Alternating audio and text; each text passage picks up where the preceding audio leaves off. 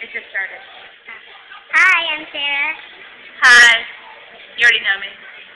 Yeah, this is a crazy dude that we found at the nurse's office. He had no parents though. Don't blame us, we just took him.